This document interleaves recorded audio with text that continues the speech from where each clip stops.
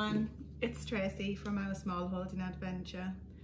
It's Monday night and I'm sat here shelling broad beans. So normally I would be doing um, a recipe from Grandma's wartime recipe book. But given that it's the busiest time of the year here on the small holding and that we are in full on harvest season for ourselves, for us, um, I wanted to start sharing with you some of the recipes that I use frequently and some of the recipes that I've decided to try that I've never actually tried before. Um, broad beans, once they start coming, they come thick and fast. And generally there's only me that likes them. Uh, Stephen will eat them. The kids can't stand them, but they eat them because they know that there's some, uh, they're good for them. There's some health benefits. Um, but I do know that a bit like courgettes or zucchinis, there'll come a point in the season where they downright refuse to eat anymore. so I'm looking for alternate ways that I can um, I can hide these in um, some of their food or celebrate them as a main part of the meal um, and hopefully make them taste a little bit different to what they used to. So I'm looking tonight, um, the first method that I'm going to try to, to do is to make a, a broad bean dip. Um, so it's not hummus, there's no tahini in it, um, but I've no idea how this is going to turn out and the recipe actually calls for 300 grams of broad beans. Now it's going to take me, it's about 25 to 8. I feel like I've been sat here for six days shelling these already. In reality, I think I've only been here for about four minutes before I started the video um, and I've got 80 grams. So you may be here some time with me. Um, so yeah, what I'm going to do is instead of doing a wartime recipe every Monday night from my grandma's recipe book, I'll probably do those every other week. Um, and I'll, I'll alternate um, with some seasonal recipes. Um, so it'll be very much broad bean this week. Um, broad beans will feature again. Um, but then we've got lots of other things um, growing at the moment. So I'll share some of those and let you know how they turn out. So this recipe calls for 300 grams of broad beans, as I say. We're nearly on 100 grams now. I've picked all the baby ones, so maybe I should have just picked the big ones for this. And 300 grams of peas. So I do have some as well in my basket here that an absolutely lovely friend gave me. I love wicker baskets. Anyway, distracted. Um, as well as broad beans, I've got purple podded peas in my little basket. There won't be 300 grams worth there. So what I'll do is top them up with frozen peas from the freezer. And you need the juice of two lemons and a couple of garlic cloves. I think if memory serves me right, I'll have to check. So I'm gonna get on out shelling these and I'll come back to you once I've got 300 grams worth, which feels like it might be about three days time. We're on about 250 grams now, so I'm not doing too bad. It's only just after quarter to eight. We haven't lost hours. Um, it occurred to me whilst I was uh, sat here mulling things over, podding broad beans, um, that one of the last videos that we did, um, or that I did, was around the grocery um, shopping, and we've just passed the six week mark. Um, so I did say that I wasn't going to go shopping um, for six weeks um, and that I would give you an update on how that went. Um, to be honest, it went really well. Um, we didn't make it to six weeks, so um, I'm not going to pretend that we did. Um, we kind of made it to five weeks um, and we could have gone longer, but I didn't want the kids sort of missing out on certain things that, you know, that it was purely to, to, to meet the challenge that I was saying that we couldn't have certain things. Um, so there was certain items that we ran out of a lot, a lot more quickly than anticipated. Um, so things like butter, honey, um, oats, breakfast oats that we have every day, um, the kids things that they have such as uh, chocolate spreads or things like that, they ran out really quickly. Um, sliced ham, so we still buy sliced ham from, from well, wherever we go, Aldi or the butchers or whatever it might be. Um, and cheese, goodness me, we went through cheese so quickly, but I think that was because we were making a lot of frittatas and I was just putting cheese on, well, everything, as you do. Funnily enough though, when we ran out, we didn't, we missed it from the point of view that it was, oh, where's the cheese? We usually have cheese with this, but we didn't miss it from the, from the taste point of view. So that was interesting. Needless to say though, um, when I did go back, so I went back to Aldi on Friday, it's Monday now.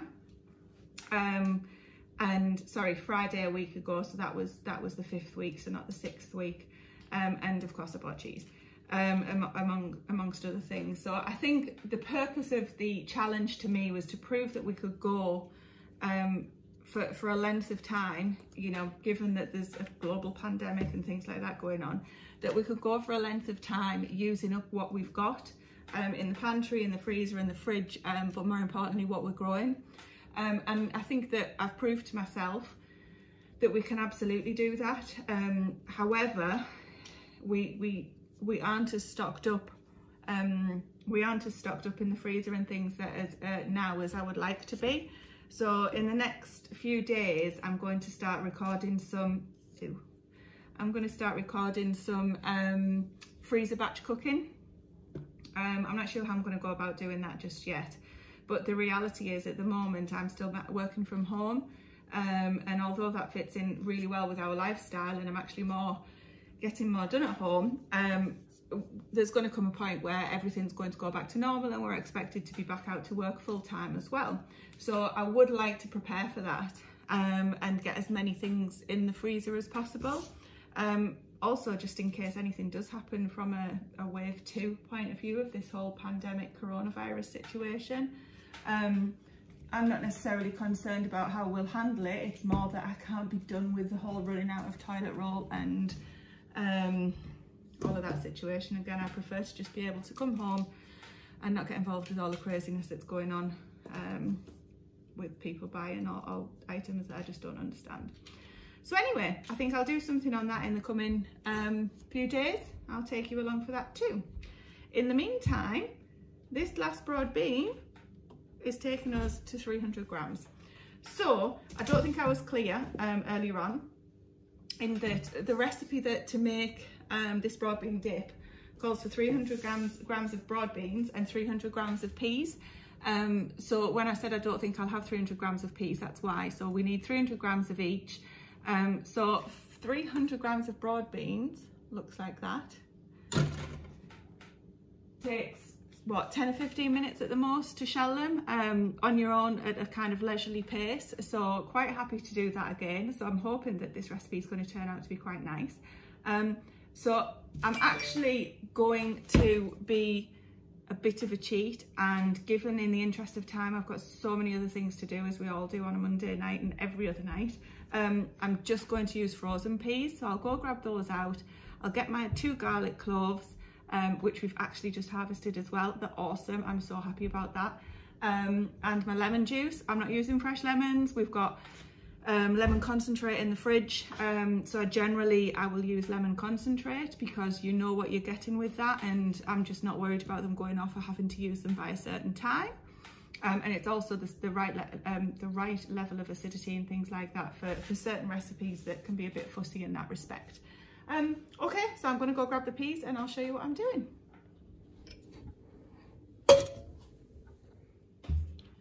So these are two of our homegrown bulbs of garlic. They are so fat and amazing and absolutely fantastic. Um, so I'm just gonna peel them.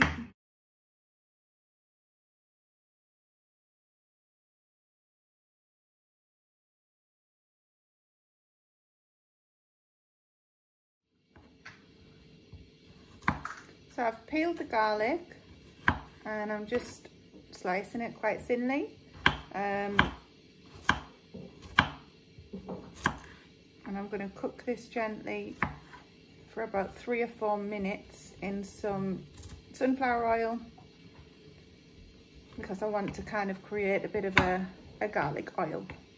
So the kettle's on, bringing that to the boil. I've chopped the garlic um, so that's ready just to fry off for three or four minutes um, in some oil. Um, when the kettle boils, I'm going to cook the broad beans and the peas um, just for three minutes, then shove them in some cold water um, just to, st to stop the cooking process. Um, and then we'll try and combine the lot in, and then we'll combine the lot in a food processor and add in the garlicky oil that we're going to create from, from cooking this garlic off in some oil now. This pan is ready, boiling away. So as I said, my 300 grams of peas are frozen. So because of their size, they will be absolutely fine. Don't want to come out. Absolutely fine going in with the broad beans um, because they can go in from frozen. No problem at all with fresh broad beans. We'll take the temperature of the water down a little bit. But that's okay. And the garlic is just frying away. Did I just spill that everywhere? No. We'll give that three or four minutes um, for the garlic and then we'll set that to one side. As soon as the peas come back to the boil, we'll get the broad beans in and then set the timer. These are, these are the broad beans and peas that are left. So what I'll do is actually shell those and pop them straight into the freezer. No need to blanch them or anything. And then I can make this recipe or another recipe straight from the freezer. These are the leftover frozen peas that I've used. So I'm going to put those straight back in the freezer now. And then at least we'll have something there preserved, ready to use just when we need it at any time of the year. These have been cooking three minutes and now I've just emptied them out and soaking them in cold water, take out any residual heat.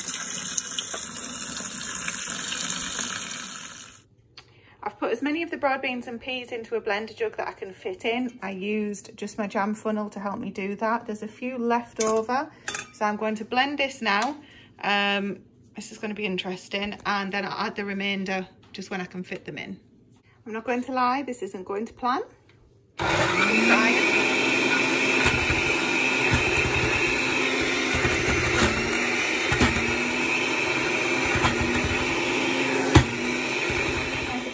So I'm going to go and grab the um, garlic and oil. Um, I'm just going to add, hang on, need to watch this.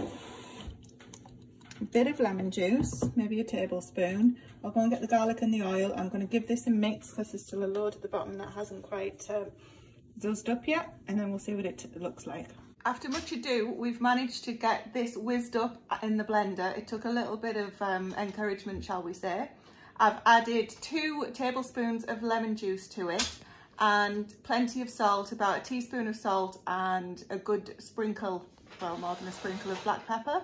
Um, so I've got my little test, taste tester here now. So let's see what it tastes like. A lot more than anticipated. That is like a breakfast cereal bowl size. Um, it's absolutely huge. I need to inquire if you can freeze this. I don't see why not. So my unassuming taste tester is here. He didn't know this was happening. So he's just got out of the shower for bed. So this is going to be a very honest review.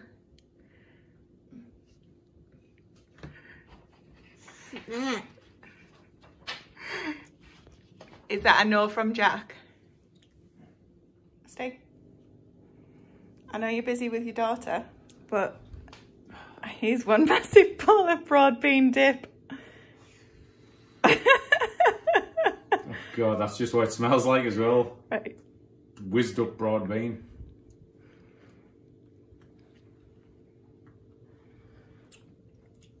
That's not that bad actually. Just tastes like mushy peas. Taking the keyboard apart for some art project. Um, I won't be eating all of this tonight, but it's actually quite nice. Um, maybe not for Jack, maybe not for Grace. Stephen's definitely going to be eating it. He might not know it yet. Um, and I'm going to be having it as well. But to be fair, it's a super healthy broad bean dip. What more do you expect? Thanks for watching along with us tonight, guys. If you like these kind of videos, not necessarily the taste of the recipes, but if you like these kind of videos, then please give us a like and subscribe. And there'll be plenty more to come as always. But for now, stay safe.